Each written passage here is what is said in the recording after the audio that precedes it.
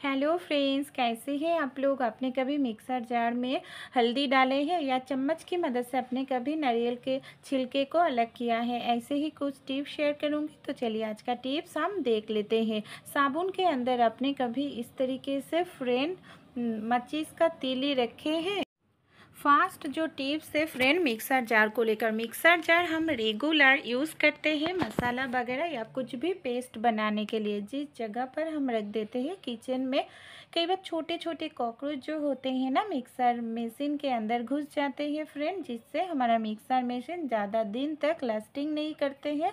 अंदर से जो वायर होते हैं ख़राब कर देते हैं कॉकरोच इस तरीके से कोई भी पुराना थाली के अंदर अगर आप मिक्सर मशीन को रख देंगे, फिर उस जो थाली है, जो कोई भी थाली हो, प्लेट हो, उसमें थोड़ा सा इस तरीके से चारों साइड से हल्दी पाउडर लगा कर रखिएगा। हल्दी के स्मेल से कॉकरोच जो है, थाली के आसपास नहीं आएगा और मिक्सर मशीन के अंदर जाकर वो अपना घर भी नहीं बना पाएगा। इससे आपका एक मिक्सर मशीन सालों साल आप यूज़ कर सकते हैं, ख़राब नहीं होगा। मच्छर भगाने के लिए हम सभी लोग इस तरीके का मेसिन का यूज़ करते ही है फ्रेंड। लेकिन क्या होते हैं, इस, इसके अंदर जो ऑयल वाला जगह है, ख़त्म हो जाने से हम फिर से लेकर आते हैं।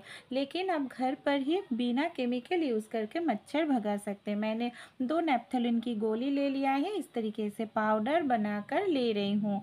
फिर क्या करेंगे, जो ऑयल डालने के जो डिब्बे हैं, उसके अंदर नेपथोलिन की जो गोली हमने पाउडर बनाकर लिए है, फ्रेंड, उसको इस तरीके से डालकर ले रही हूँ। फिर इसके अंदर आप चाहें तो नारियल तेल भी डाल सकते हैं, नहीं तो जो नीम का तेल होते हैं ना, वो भी डाल सकते हैं। मैं यहाँ पर नीम का तेल यूज़ कर रही हूँ। अगर आपके घर में नीम का तेल अवेलेबल नहीं है तो नारियल तेल डालकर रिफ़िल को बंद कीजिएगा। फिर आप मशीन के अंदर इस तरीके से सेट कर दीजिएगा। फिर आप इस मशीन को लगाएँगे ना नैपथोलिन और नीम का तेल ऑयल का जो स्मेल है, जिसके कारण मच्छर तुरंत ही भाग जाएगा। आपको इस तरीके का मच्छर भगाने के लिए ऑयल खरीदने की ज़रूरत नहीं पड़ेगा।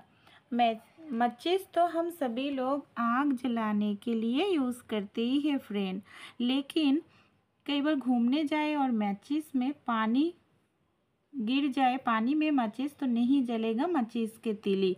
इमरजेंसी टाइम में भी आप आग जला सकते हैं, भीगा हुआ माचिस के तीली की मदद से। अगर आप माचिस का जो तीली है, इसमें थोड़ा सा वाइट कलर का टूथपेस्ट आप इस तरीके से लगा दीजिएगा, फिर इसको रख दीजिएगा सूखने के लिए।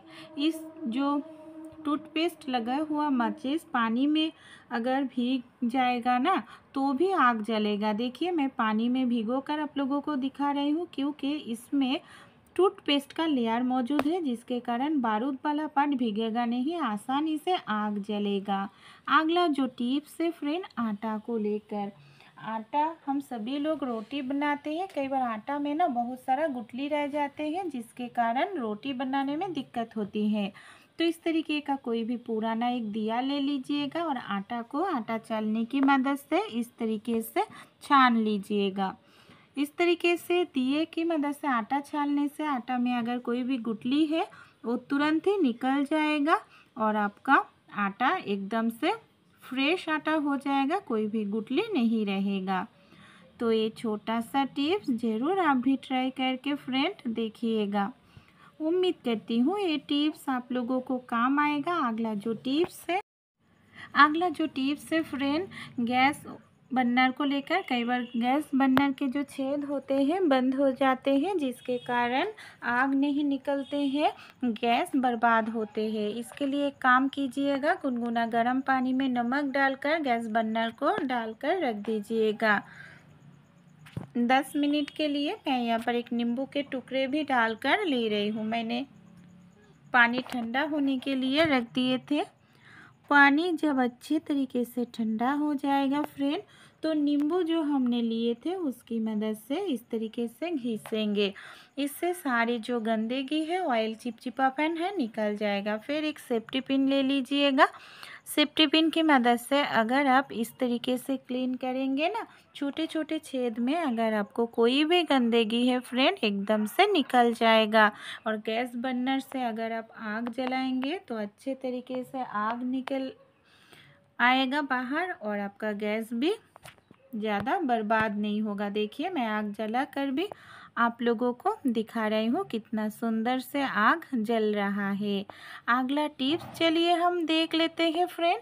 साबुन हम सभी लोग अपने शरीर में यूज़ करते हैं। साबुन का बहुत ही एक बढ़िया अनोखा टिप्स शेयर करूँगी। साबुन में अपने कभी इस तरीके से मचिस का तीली लगाया है? क्यों हम साबुन में मचिस का तीली लगाएँगे? कोई भी साबुन आप यहाँ पर ले सकते हैं। साबुन को अच्छे तरीके से आप ग्रेटर की मदद से ग्रेट करके ले लीजिएगा। फिर हमारे घर में जो इस तरीके का छोटा सा डिब्बा हो या आइसक्रीम का कोई भी डिब्बा छोटा सा ले लीजिएगा साबुन। फिर इसमें अंदर मैंने तेज पत्ते को छोटा टुकड़ा करके ले लिया है। बारूद वाला जो मैचिस होते हैं, मैंने इसके अंदर डाल दिया है। फिर क्या करेंगे? पॉलीथीन के अंदर हमें इसको डालना पड़ेगा इस तरीके से।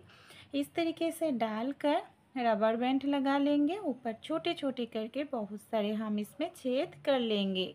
हमारे घर में जो अलमारी में कपड़े होते हैं, ऐसे बहुत कपड़े जो हम सालों में भी यूज़ नहीं करते हैं, इससे बैड स्मेल आने लगता है, ख़राब हो जाते हैं। कई लोगों को नेपथोलिन का स्ट्रॉन्ग गंध पसंद नहीं है तो ये टिप्स ट्राई कर सकते हैं। इससे आपके कपड़ों में बहुत ही बढ़िया खुशबू रहेगा, साबुन का, तेजपत्ता का, या जम्स बैक्टीरिया ख़त्म हो जाएगा अलमारी से। अगला जो टिप्स है, नारियल के जो छिलके होते हैं, इसको छीलने में बहुत ही दिक्कत होती है।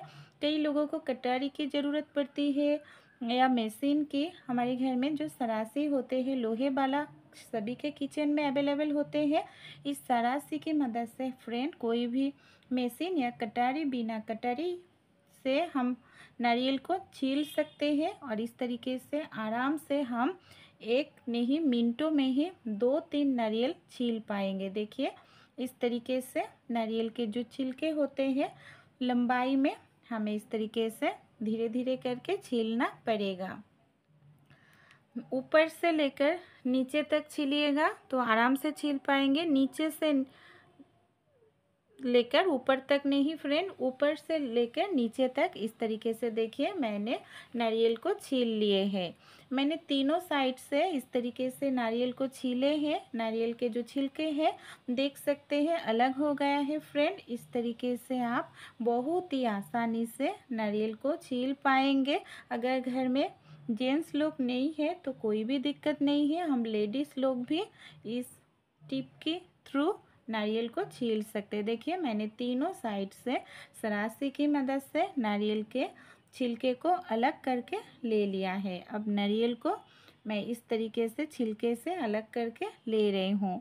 छोटा सा टिप्स ज़रूर आप ट्राई करके देखिएगा। इससे इससे क्या होगा, आपका जो काम है बहुत ही आसान हो जाएगा। नारियल छीलने में कोई भी आपको परेशानी, दिक्कत नहीं होगी।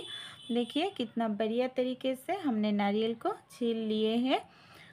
तो चलिए फ्रेंड अच्छे लगे ये टिप्स तो ज़रूर आप ट्राई करके देखिएगा, अपने दोस्तों के साथ भी ये टिप्स ज़रूर शेयर कीजिएगा। अगला जो टिप्स है, हम देख लेते हैं।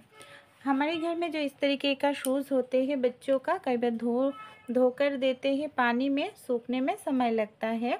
तो अगर पानी से आप क्लीन करेंगे तो इस तरीके से पॉलीथीन के अंदर जो कैरी वाला जगह है, कैरी करने के जगह पॉलीथीन में उल्टा करके शूज़ को डाल दीजिएगा। फिर क्लॉथ क्लिप ले लीजिएगा दो।